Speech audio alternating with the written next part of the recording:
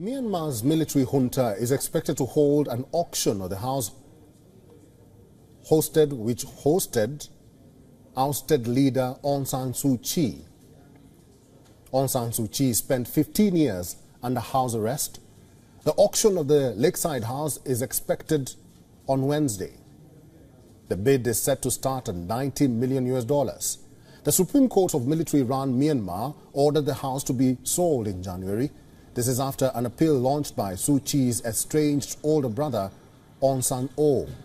Aung San Suu Kyi has been in a decades-long legal dispute with her brother over lakeside villa ownership.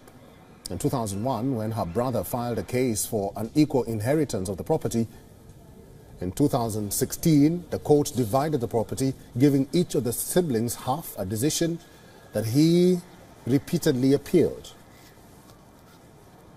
Now, this is the house where Nobel laureate Suu Kyi gave an impassioned speech to crowds of supporters and hosted some of her most high-profile meetings, including with former U.S. President Barack Obama and Secretary of State Hillary Clinton.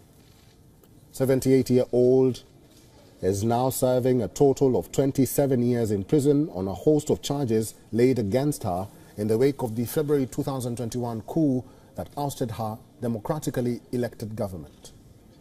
Our reform process is going through. For all the latest news, download the WION app and subscribe to our YouTube channel.